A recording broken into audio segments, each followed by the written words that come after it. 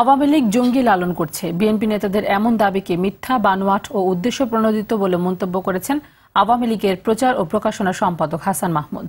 বিকেলে ধানমন্ডি দলীয় সভানেত্রীর রাজনৈতিক কার্যালয়ে সংবাদ সম্মেলনে এমন মন্তব্য করেন তিনি। তিনি বলেন, বিএনপির শাসনামলে দেশে জঙ্গিবাদের উত্থান হয়। এরপর দেশে যে কয়টি জঙ্গি হামলা হয়েছে তার সব কটি বিএনপি ক্ষমতায় থাকার সময় হয়েছে বলেও মন্তব্য করে বলেন, যুদ্ধাপরাধী ও জঙ্গিদের লালন ও তাদের দোসর বানিয়ে ক্ষমতায় আসাই দলটির জঙ্গি প্রীতির প্রমাণ মেলে।